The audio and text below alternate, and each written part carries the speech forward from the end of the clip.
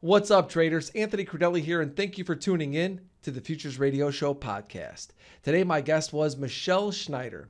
Michele is a managing director at Market Gauge. She's also the author of the best selling book, Plant Your Money Tree, and former New York floor trader. When Michele was on the floor, her badge was Mish. So, throughout today's interview, of course, I called her Mish. Mish is a lot like you and I.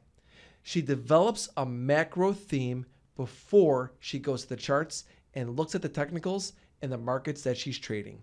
And right now, Mish's macro theme is trading stagflation. I know many of you listen to other podcasts and you're hearing a lot of traders talking about trading inflation or trading deflation. Well, in today's show, we focus solely on trading stagflation. Remember, Futures Radio Show is sponsored by CME Group. And on May 3rd, CME is launching micro Bitcoin futures. To learn more about micro Bitcoin futures, please go to activetrader.cmegroup.com. You can listen to Futures Radio Show podcast anywhere where podcasts are available. But if you want to watch Futures Radio Show, check us out on YouTube or anthonycrudele.com. This show is also sponsored by Trading Technologies, TradeStation, and FTSE Russell.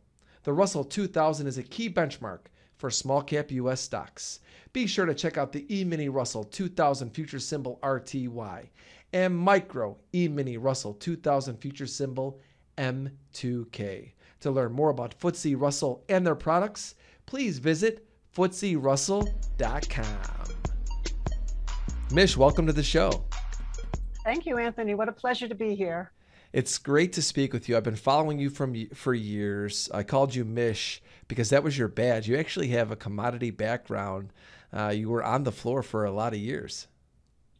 Yes, I was in the New York Commodities Exchange. I started out in coffee, sugar, cocoa, went over to COMEX, traded gold and silver, went over to the Merc, spent most of my years there trading crude oil, and then ended up my career on the floor in Finex before I finally went and traded upstairs. Oh well, we're gonna definitely going to talk about commodities today. That's one of the reasons why I was so excited to speak with you today. We're going to talk about crude oil for sure, but I want to start off, Mish, talking about Ethereum because I've talked about this pretty vocally. This is my strongest uh, look right now. I'm long Ethereum uh, in a full position. And actually, a good day for you and I to talk about it because we're seeing a decent pullback. And I saw in your Twitter stream that you are also very bullish Ethereum. Uh, talk to us about how that trade has set up for you and what your thoughts are on Ethereum. Well, up until about a month ago, I was all over Bitcoin, and we didn't exactly trade Bitcoin through buying Bitcoin itself because of our clientele really wanted to look at more alternative means. So we were buying it through GBTC, which is the grayscale. We were buying it through Riot, MicroStrategy, Canaan and uh, and then all of a sudden it just seemed like um, it couldn't get through that 60,000 one more time and I started looking elsewhere as I was doing more research and found that Ethereum to me was more interesting because of the blockchain technology. So it's more than just a currency, and I, I like that. So the whole network has been really supported by Amazon Web Services. And when I looked more and more into it, I started to discover how innovative that whole space could be for banking, lending, global transactions. And I think it's the future. So when I looked at the actual chart, because I still rely on the charts ultimately, I noticed that from January 2021, it was making higher lows on every swoon down. And so we got in just at around 1660 and uh, but we did it through again a trust the ethe and so we got in uh, right the, the price was sort of comparable at that point. And then uh, we took a little bit of profit just because we like to lock in but we're we're hanging in there for the long haul. I think ethereum can go to 24 2500 pretty soon actually. Now i feel the same way. Uh, going back to what you talked about how you started to get into Ethereum really started the same way for me. You know, I talked to a lot of people on this show, and what I've learned from speaking to a lot of people that are in crypto is that Ethereum's actually being used. Uh, I still don't know. I mean, I've owned Bitcoin a bunch of times. I'm not in any Bitcoin right now, but I I really look at Bitcoin and say to myself, what am I going to use this for? Yeah, maybe you could barter it and use it in, in that way, but Ethereum is now being used and the NFTs, think about how popular that's getting, right? They're they're they're building on Ethereum. Then you have the Visa story last week, or maybe it was a week and a half ago, almost two weeks already, was really a trigger for me because when I saw that Visa is now going to allow people to pay off debt and USDC off of Ethereum, I'm like, you know what? I just think it's going to bring in this flow of money where I, I don't think that a lot of people still know how to even buy Ethereum. So that was really kind of how my story came to it. And just like you said, I went to the charts afterwards and I looked at it and said, it's setting up really well on the technicals. Um, how is that how a lot of your trades set up first? Uh, is it set up with a story and a theme and then you go to the charts? absolutely right on, Anthony. That is exactly how I function. Considering I started out on the commodities floor, it wasn't like I had an opportunity to do a lot of research on other commodities. I was all about the commodity I was in, which sort of forced me into a theme. So, yeah. for example, if I was looking at sugar because I was trading sugar, I, I, may or may not be so interested in the news, but I knew that it was a theme that obviously sugar was going to go up in more inflationary times. And I caught really that whole swoon because I went down there. I hate to age myself, but it was back when the commodities went crazy in the late 70s, early 80s. And that's when I said, but you know what? This is moving so fast. Or I'm interested in this idea, or wow, it looks like maybe across the way gold is starting to percolate, I better look at a chart. And that's really how I do everything because I have to look at some kind of a historical price action, or I feel like I'm just shooting in the dark. And that's definitely not my style. Yeah, really the best macro people that I that I know and talk to, even though a lot of their ideas still come from, you know, a macro thought process, they have this theme, this idea, they go to the charts just because it helps them manage their risk right? Just because you have a macro idea, you still have to look at something to be able to execute it where are you're wrong. I mean, that's something that you and I know from being on the floor is that as traders on the floor, we always know where we're wrong before we're getting in. And that's just something that we were taught and drilled into our minds. And these days being off the floor and there's so many things going on, and this is where I want to go to next with you. There's so many themes happening. There's so much to talk about, but with you having a commodity background, I want to go to oil because this is a market that I trade on the swing side of things. I have been waiting for pullbacks in oil. I, I, I told everybody a week ago on my podcast, I bought it. I got very bullish on that pullback. It was finally one. I actually got out of that trade, only in Ethereum right now in my swings. And I'm looking at oil and it's starting to get a little fuzzy on the charts. It's not holding what I'd like to. What are you seeing? Do you have a theme for oil? And then talk to us about maybe what some things you're seeing on the charts. Well, so oil itself is so interesting because of the whole alternative energy space that didn't exist when I was trading oil. So it was all about oil. And of course, we're still a very much dependent oil and gas economy, yes. but yet we have this growing presence with alts, solar and wind in particular. And then, of course, now we have an administration which is friendlier to the alternative energy, which ironically, of course, has now taken a big tumble over the last couple of weeks. So, in terms of the oil itself, it's very politically charged. Number one, still has been and always will be, as long as OPEC is involved. So, OPEC now, of course, is talking about starting to raise production, assuming that the demand coming back from the economy's reopening will sort of counteract any kind of a glut.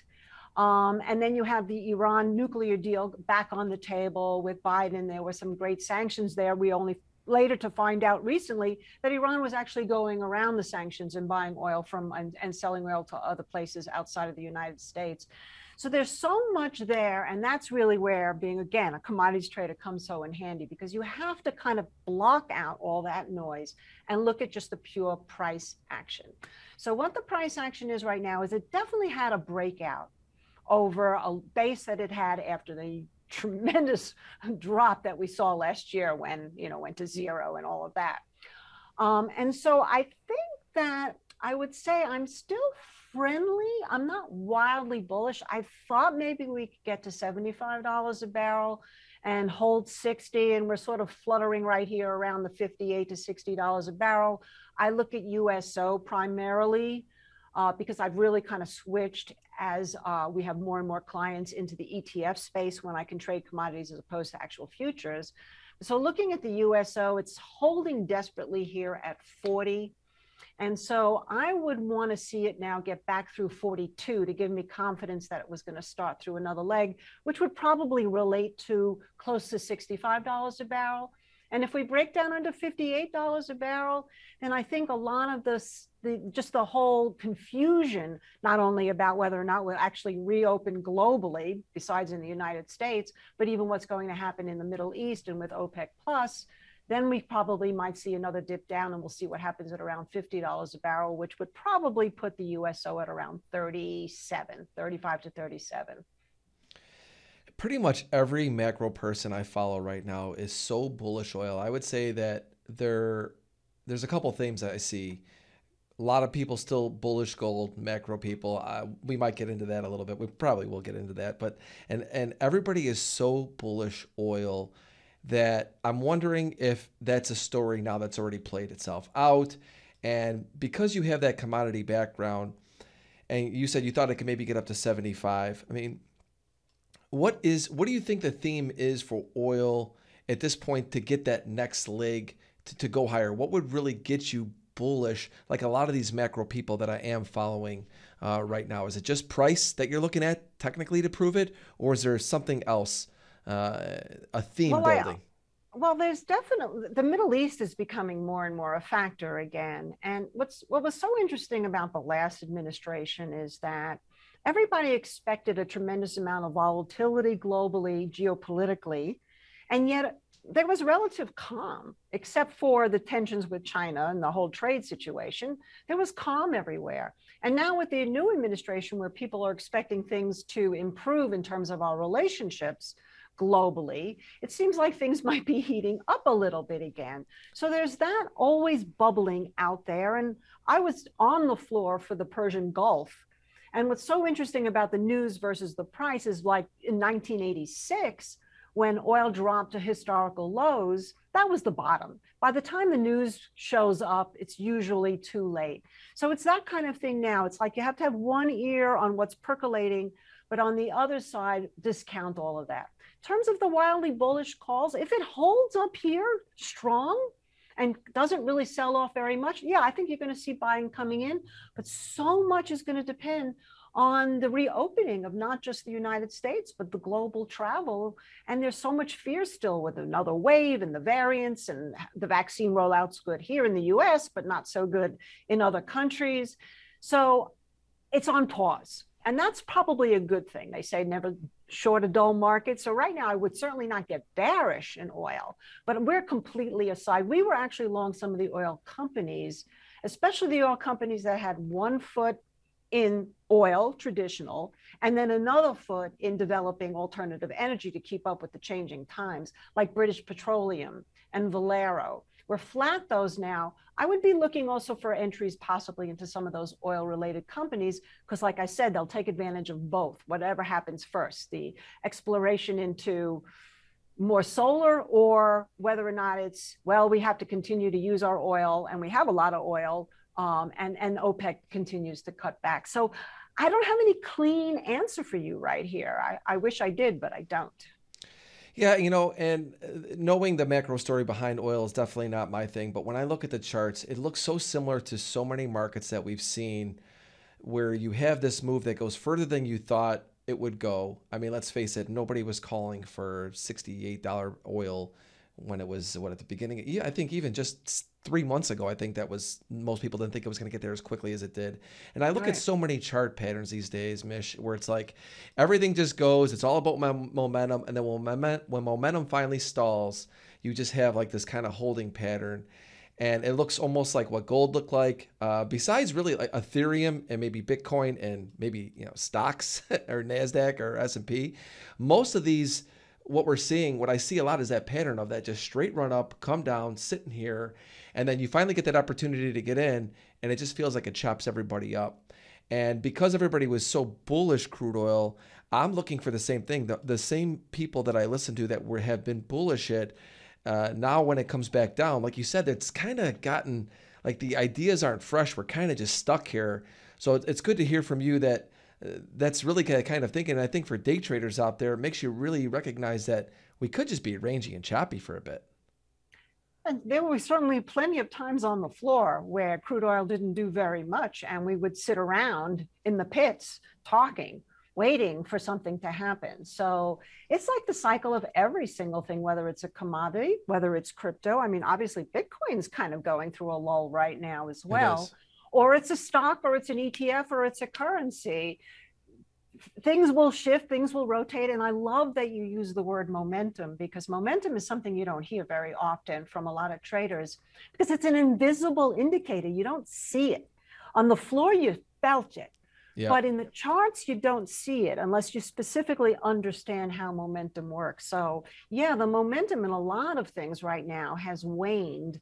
Even if we look at the general stock market, the Russell 2000, which started out, I call it Grandpa Russell, with Geritol and looked like it was going to continue to race off to the moon as everything rotated more into the industrials and manufacturing is now stalled. And the momentum has actually diverged to negative, where the momentum is under the 50 day moving average while the price is sitting right there on the 50 day moving average. And that's where we seem to be at with a lot of, of the different instruments right now. So we're not all that committed as we were, say, in January, starting yeah. in October, November, where we had like 20 positions on in the discretionary account. We're down to 10 or 11. Well, we're going to pause for 30 seconds. And when we get back, we're going to talk about what your favorite looks are right now, your favorite themes. You said you're down to 10 or 11, so maybe we'll talk a little bit about those. I want to pick your brain a little bit about gold. Uh, so, traders, hang tight. We'll be back in 30 seconds. Replace your exchange with TradeStation Crypto. Dealing with multiple exchanges is complicated and it takes time, except with TradeStation Crypto. Because we are not an exchange, we are a broker. You have access to multiple pools of liquidity all in one platform, in one account, one way. Trade crypto your way. Plus, earn interest on your eligible cryptocurrencies. Get started in one click. Welcome back, traders. Mish is still with us. Mish, I want to continue on that conversation of momentum a little bit because I know all the traders listening to this, we're, we're constantly glued to the charts. And it's I scan through my dailies every single day uh, every single night, and I go through my prep and I say, okay, what's in what sort of a of a pattern? I like to see markets that have really strong trends. I mean, Ethereum. I've been talking about this a lot, but it's in that really strong bull trend. You finally get a pullback. It gets back above moving averages. It gets above downtrends. To me, that's good confirmation, whether that's your strategy or not. They're simple confirmations to prove trend is intact. But there's so many markets I see that basically go up further than we think and then they get in these holding patterns, and it's easy to get chopped up, and it's hard to determine what will come back and look to make new highs. Uh, and I think that's that's something that traders don't talk enough about is really environment. You know, we go from a momentum environment where everything just keeps going and then it finally comes back. You get these opportunities and then it gets really choppy for day and swing traders. What you said that you have 10, 11 uh, markets that you're still in and you're focused on. What are your favorite ideas of those right now that you feel have the opportunity to continue to move uh, in in the trends that they're in, and where you could see some true follow through? Well, definitely Ethereum. We're still there. We're not going to go anywhere there. Obviously, if it sells off hard, we'll have a protective stop. But other than that, I'm really, really bullish in the alt currency space. And we, in fact, just hired somebody who trades all of the different coins. So he's sort of giving us an education in Litecoin and in Ripple, Dogecoin, things we haven't even touched. And the reason why we haven't touched them is because there's no traditional way to trade them the way there is with Ethereum and with Bitcoin. So I'm always looking out for new things. In terms of everything else, I have this nagging the feeling, and I've had this nagging feeling now for over a year about stagflation as opposed to just inflation.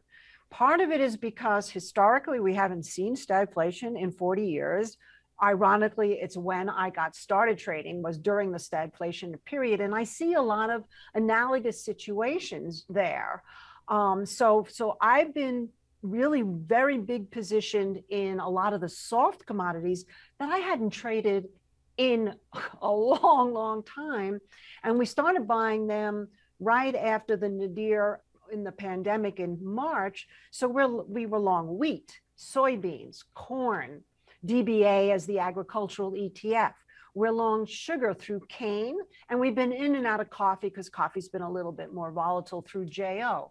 So I still think that that is a very underwatched area. People don't even think about food commodities. They certainly think about the price of food when they go to the supermarket. But most people who are trade, when I mention corn or wheat or soybeans, they go, oh, wow, you know, I never traded that before. We actually did extraordinarily well, and we're sort of looking to re-enter some of these again as we get into seasonally on top of the supply chain disruptions on top of the low labor on top of the fact that the production has been low to cut back on the glut that we had for years there's also now the situation where we have a weather potential so I think that that's something to keep an eye on because what I'm looking at now too is the gold. There was that whole conversation, gold versus Bitcoin. You know, like Godzilla versus uh, King Kong. I mean, I, I, I, th- I, I, think it's ridiculous. Um, great Bitcoin went to 2 trillion uh, in valuation. Gold is still at 100 trillion in valuation. So there's gold hasn't gone anywhere. And I actually think as a result of that, we're already in gold, and I would be looking to add to gold um, because I really believe, like again, in the stagflation theory, and the alternative currencies can continue to do well, but I think gold can just really surprise everybody. It's got such a high short float right now. It's been sort of on that back burner and can come out, you know, roaring its chest if that's the King Kong part of the equation. And, and, and blow everybody out of the water by rallying. And I think 1750 is really the, the place right now it needs to clear. It's been bouncing up against it and then holding. So we're looking at, we've been in silver, we've been in miners, we're out of that now, we're just in gold. In terms of the overall market, I also really like the banks here. Not all the banks, but we're in Wells Fargo. We've been in Wells Fargo for a while. We actually added to our position in Wells Fargo. Um, we've been looking at some of the stocks that did have to do with a potential infrastructure program. And I'm going to get tie that back to my stagflation theory in a moment. So we've been in like floor construction, for example, which is really materials for building roads and highways, et cetera, also because of the housing boom that we've had. So let and and let's see what else we're in. We're in oh we're in some SPACs. Let's let's hold on that one for a second. And we've been in Scorpio tankers. That's been one of our biggest oil plays. We've been in Scorpio tankers in fact, I went on uh, Charles Payne's show. I'm on uh, every week with him on Making Money with Charles Payne on Fox Business. And I told him I was buying Scorpio tankers at $11. And he was like, wow, you are brave. Well, meanwhile, it went up to 20 and now it's sitting between 18, 19. I think the whole shipping area is part of my stagflation theory. Not just what happened in the Suez, but some of these ships have just been unable to move because of what happened after the pandemic. They, they're, not, they're not getting to port on time. So this is a very long roundabout way of saying is here's what I'm thinking. I'm thinking we have real fundamental reasons to be concerned about the price of goods. We've already seen steel, copper, wood go up. We're seeing the food go up. We're seeing sugar go up. Gold and silver has been underperforming, but they can certainly go up to follow. Oil, I think, is still the X factor. I'm with you. I think if it sits here long enough, we could probably make a bullish case. We're just looking for some fresh news. And yet where's the economy going? This is this is what keeps me up. When i think about it certainly biden wants to do this infrastructure package. We know the politics around it is going to be very dicey. Now we have yellen going on and on and on about a corporate tax rate globally so that our, our corporations don't go overseas to avoid taxes et cetera all of this at the end of the day says to me how are we going to make the US grow to even remotely compete with China, especially? Because we need jobs, we need industry, we need more, we need domestic buying, we need the dollar to hold up. And I wonder whether or not we can really get a, a, surge in growth other than the normal we come back from the pandemic. So that's what I'm looking at. Stagflation means economy stagnates and Uh, prices of goods raw and the dollar falls. And what does the Fed have to do? They have to raise the rates. So you really think the Fed is going to raise rates? Not unless they absolutely have to. In fact, I think Jerome Powell, you know, he's speaking again. I guess the FOMC minutes are coming out the day that you and I are talking.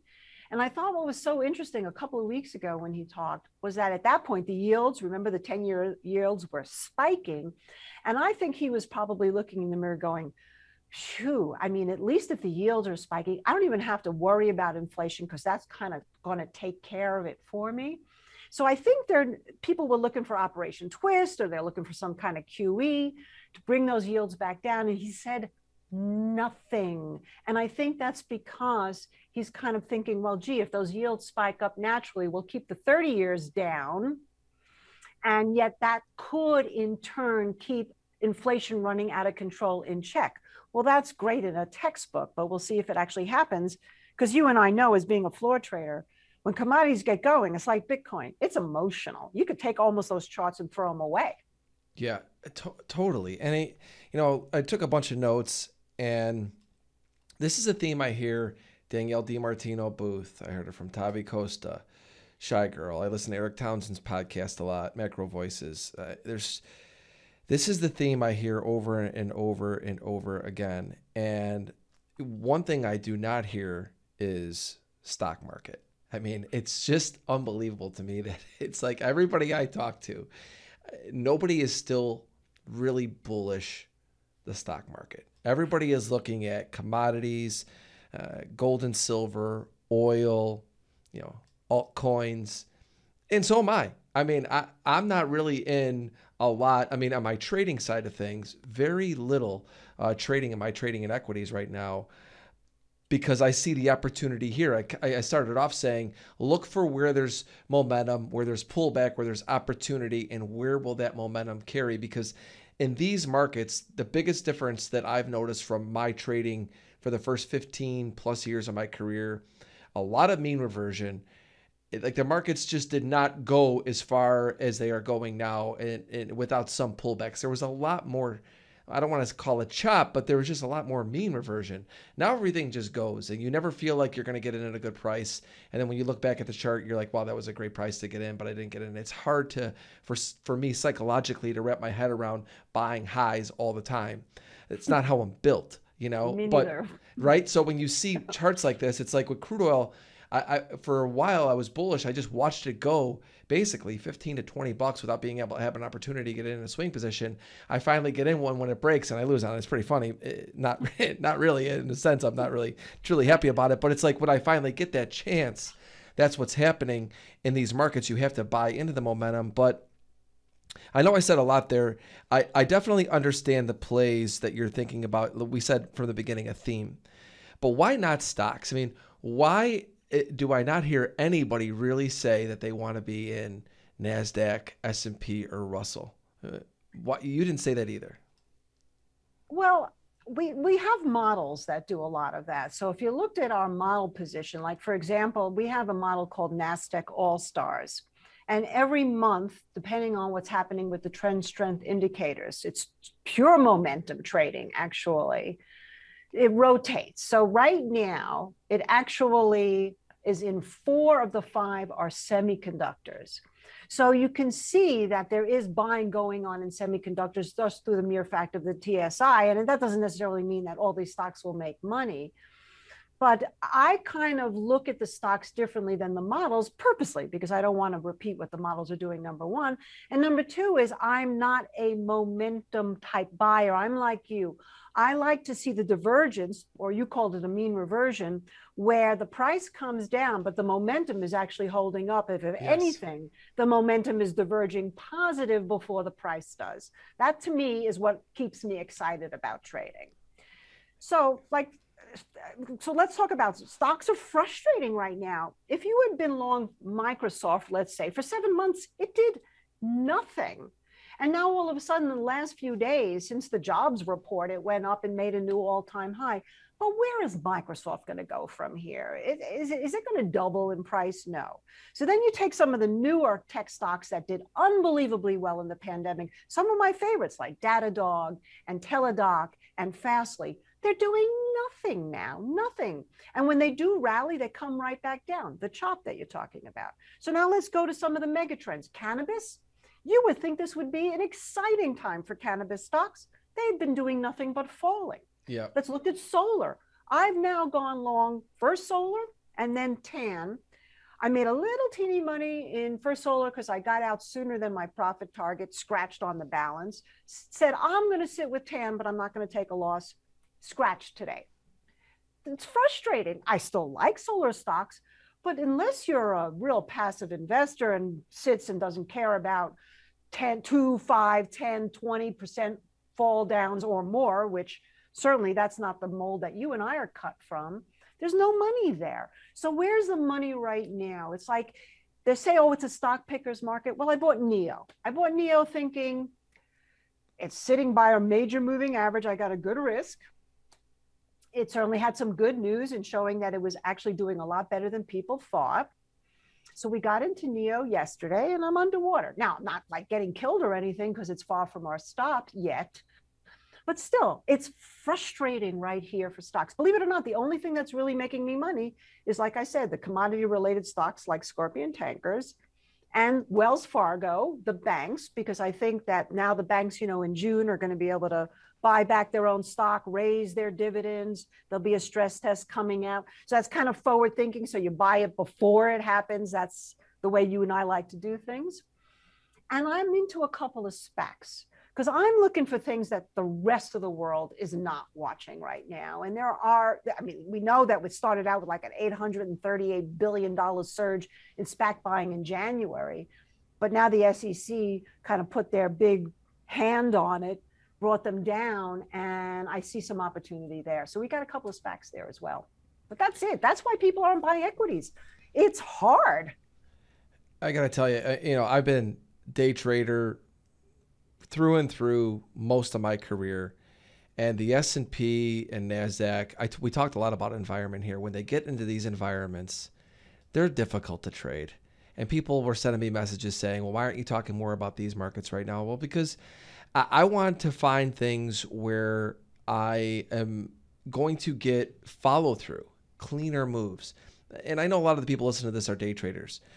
And I get that. And you can have your little day trading systems for the intraday. And, I, and I'm still going to do that when it's busy, but you're not getting a ton of busy days. So when I do get them, I trade them. But when I'm not, I've really been focusing more on, on the things that you were talking about. I mean, you and I are very similar in what we like. I like primary trend markets that pull back, that all of a sudden you start to see opportunity for that momentum to continue. Because, and I've already mentioned it today, we are in a world of where everything is momentum when things start to get going now. It hap- I just watching it happen and going, Anthony, you better smarten up and start recognizing this is what we see. This is what it is. Go back and pull up a chart of soybeans. Like you said, you know, when the commodities get going, they get going. I have not traded a ton of them. I've done a little bit of it, uh, mm-hmm. but I've been really looking more in the softs, like you talked about in gold, in silver, because when they start to go, and that's the thing with gold, and I, I want to go there next before we get into rapid fire, is you know, gold is one of those things, and, I, and I've said this a bunch of times lately. It's it's a market that does the same pattern we've been talking about. It, when it starts going, it goes way further than you think, and then when it starts to come back down, it does nothing for a period of time. Nobody wants to own it. It's that same thing to where uh, that thought process of is why am I holding gold right now? And, and that, that, that psychology through gold happens through and through. When it starts going down, you start going, eh, I got to go somewhere else, and all of a sudden it's up and it gets chased again and the, the, timing of that is so difficult. I've really struggled so far the last few months trading gold. Been getting stopped out pretty much every time. It's not been fun. Luckily, crypto's been really good for me. But I mean, really, it's just you know I'm yeah. honest about it. It's just been tough. I don't know what else to say. I I have the macro idea for gold too. I I see everything that's that's happening here, and and I think it's been a good play. I, have actually been going into the miners more uh, these days and just sitting in the miners position uh, because I felt that's a little bit better, but timing of what you think with gold. You say the 1740, 1750 uh, area. I think gold today, last I looked, was 1740. I don't have the chart up right now, but is it going to be price that that that actually is going to determine where you think we start to get going again? Uh, because I don't think the Fed is going to do much, at least at this point. We talked about how themes are what's set up for you. Uh, is it just really going to come down to gold getting above some prices now that you think will accelerate it to the upside? Because I know a lot of people out there listening are going, "Well, when the hell do I get in this thing?" A couple of things. I think if the, the, the yield, if after the Fed meeting, the initial reaction is that the yields actually tighten again in terms of the short term yields, the 10 year yields, and gold doesn't sell off, I think that will certainly bring some attention to it. Yes. If the stock market has any kind of correction and the gold doesn't sell off, that will bring some attention to it as it should because it means now the ratio between gold and the S&P could start to actually go the other way because as we know right now the S&P has well outperformed the gold and I do think that there's a price point 1800 is probably psychologically more the price point than 1750 but i'm looking at 1750 right now because in the short term we've just not been able to clear it. We broke 17 we got down to like 1680 and it completely turned right back around. There's buyers out there. What's so interesting anthony is i talked to a lot of the guys i traded with on the floor the ones that are still alive and uh, and I we actually do it through Facebook. There's some few groups that have formed from the old days, you know, and then and then that's really fun to talk to these guys. They're bullish. They're bullish because they're seeing what I'm seeing because they were there. And then you talk to or you see on Twitter guys like I think it's Rosenthal that came out and said gold is finished, gold is going down. And you know, you get these macro guys and you say, gee, just going back to what you and I were talking about in the very beginning, you could be a macroeconomist, but it means jack because you have to have the timing of a floor trader. And so I think the floor traders that I know from back in the day are, are they're sensing it, they're feeling it. Gold tried to collapse it last week, it couldn't. It turned right around. It turned right around on volume. And like I said, if we cannot knock it down, if rates can't do it and a correction in the market doesn't do it, then I think all of a sudden gold can just go and and and, and maybe head to 2000 pretty quickly maybe. And i'm i am talking my position a little bit i'll admit it but i'd like to buy more. So it's not like i'm so heavily loaded right here. Yeah i mean i feel the same way. And that's just kind of what i said. When it starts to go it goes. And and the thing is for me one of the things i've actually started to do the last couple positions i went to options because as i was buying it on the way down in the futures, I was just getting too chopped up.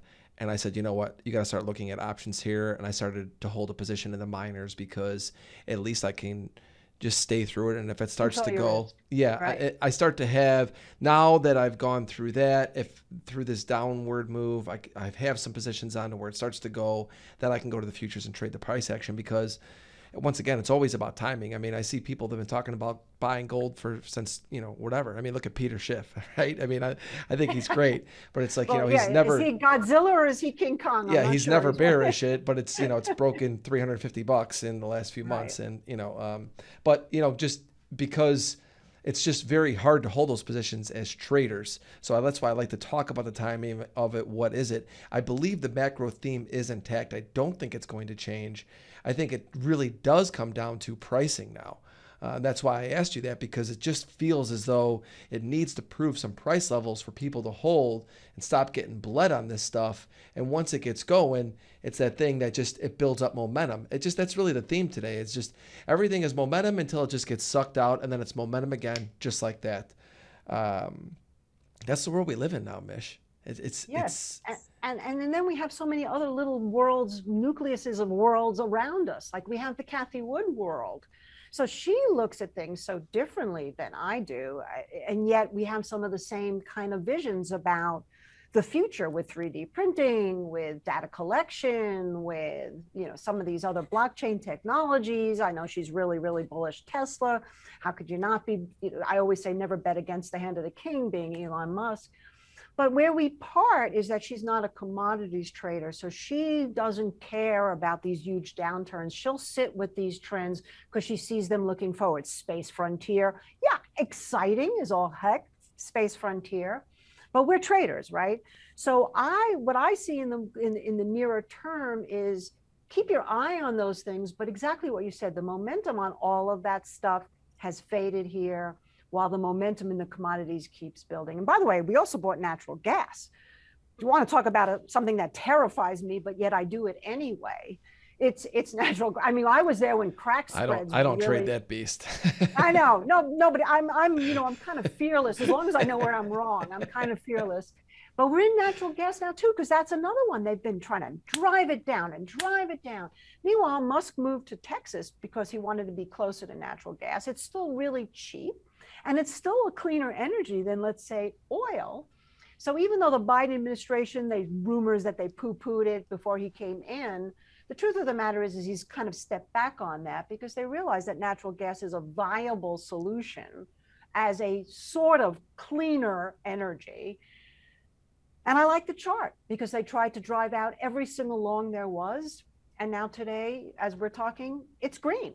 So this is how I'm looking at things is what can't people control? They can't, people need to eat, people need to have a roof over their head, they need to fuel their cars, um, and they need to, you know, have food on, which unless it's a manufactured type of fabric, we're looking at cotton. And these commodities right here are in short supply and I think as the demand goes, as we know from our lessons in back in the day, is you get that hoarding mentality and then off they go. So I feel it. It's like percolating in my system. no, it's it, it's I, I got to tell you, I agree with with a lot of what you said today. And you know, I talked a little bit about environment, and it's so important, traders, to identify the environments that we're in. You know, I'm somebody, and I and I've said this, and I'm actually going to retract on kind of like how I, I talked about this for years was basically I was a one product trader. And I said, really, I think that's where you make most of your money. And I think that's because kind of our background. Right. And my thinking has had to change on that. And but I, I do believe still that new traders starting with one product is really the way to go. Learn it, become best friends with that product, understand every little nuance about it.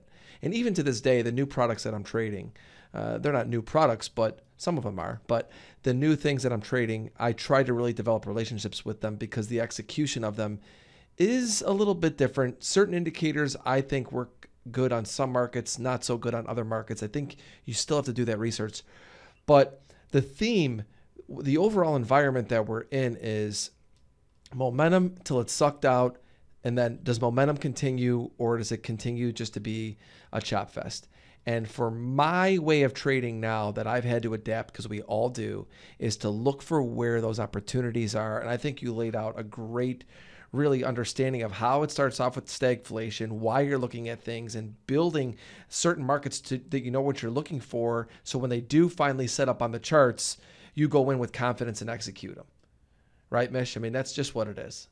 Absolutely. And I just want to reinforce something you said in the very beginning, which I think is so important which is we always tell people try to become a specialist in one thing, whether it's one product like I did. I mean, I traded only sugar, coffee once in a while, hardly ever cocoa for three years before I moved on.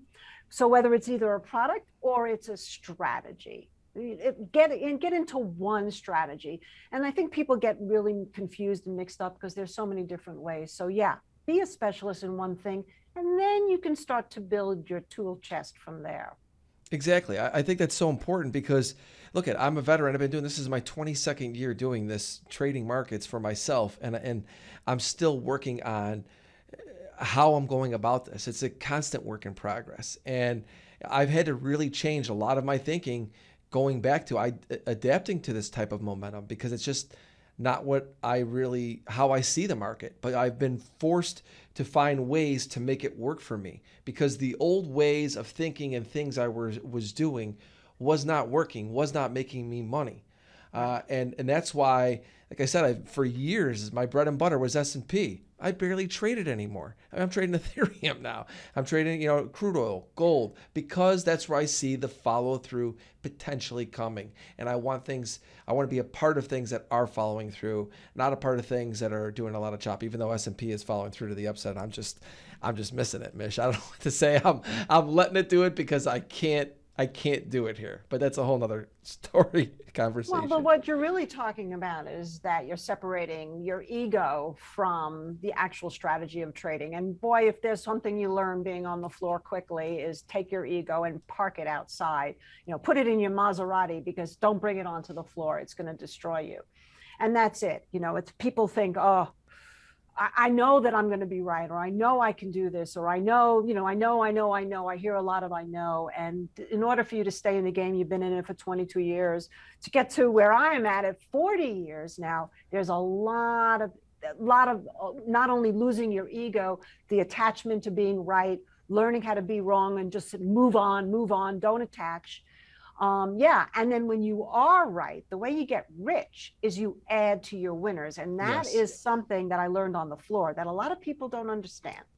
They'll add to losers, which makes no sense, before they would add to winners because the psychology is, oh my God, I'm making money. I'm making money. This is great. I better get out.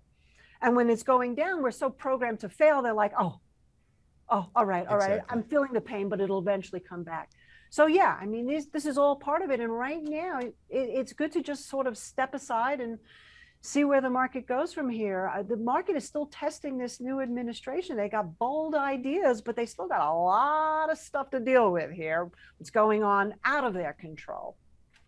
No question. And uh, just to finish this up before we get into rapid fire if you can't see it if you're not feeling it i think that you can have a strategy but sometimes if you're not visually seeing how things are going to happen in a market, you just struggle with the confidence to execute it. Because some of the things I was seeing in S&P and I would look around, I mean, if I'm not feeling it, and I know that people say there's leave your emotions out of it or but if I if I'm not looking at something and actually visual, I'm such a visual person where I see how the pattern will continue or I see certain things happening. I just tend to stay away from it. And the things that I truly do see, getting back to what you said, I did a whole segment on this this week with Develop Your Edge. I was in a crude oil position that wasn't working. What I saw, what I thought I saw hap- was going to happen didn't. I covered it before my stop and I added to my Ethereum because what I visually saw could happen was happening and I added to what was working. Because, and that took me years to kind of get to that mindset where you're like, I have to stop focusing on this negative thing right here that's not working because it'll just overwhelm you. It'll take away from what is working. And that's how you don't add to a winner. Because, like you said, you're like, well, I got this winner working for me, but let me focus all my energy on this loser right here because this is where I need to add or I need to hold this one.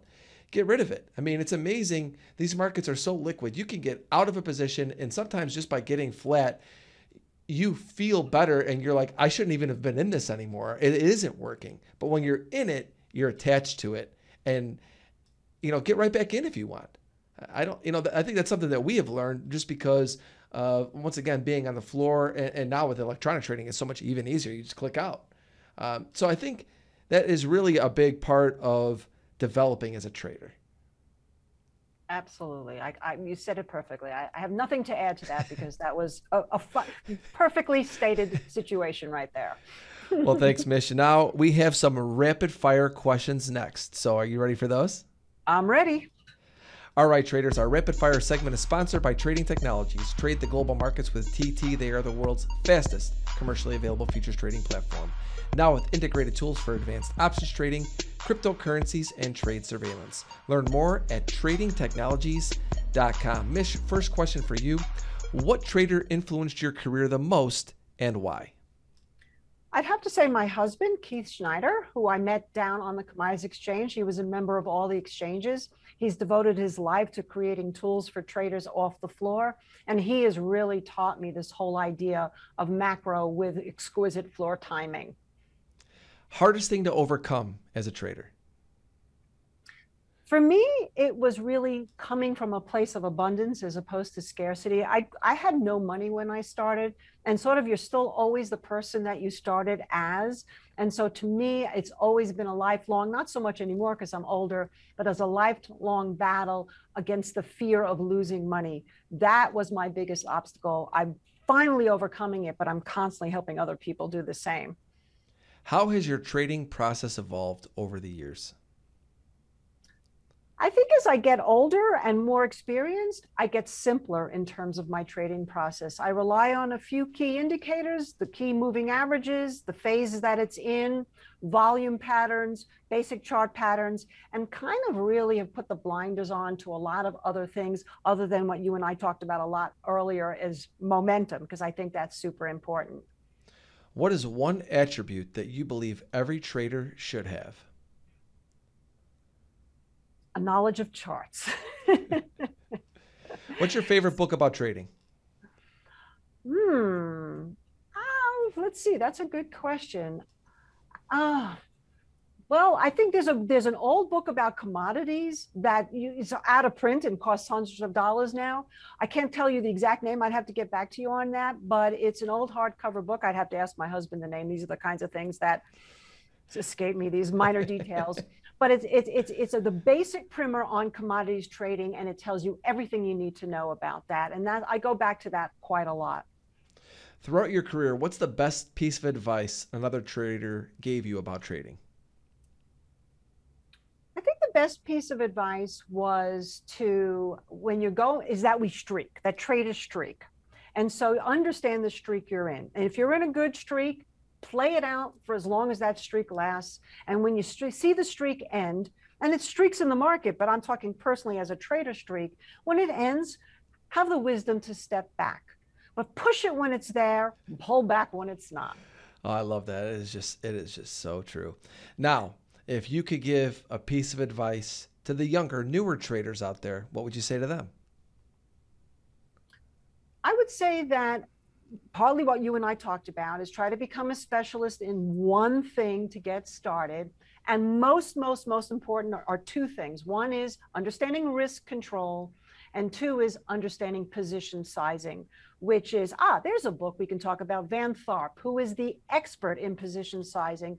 Really make sure you know what that means. And that would really give you a lot of information to get going, knowing that you're not going to lose your shirt. Last question for today. If you had an elevator pitch me your edge in trading, what would you say? I'll go back to what I said before is that I have the knowledge of a macroeconomist, but the timing of a floor trader. Oh, that's great.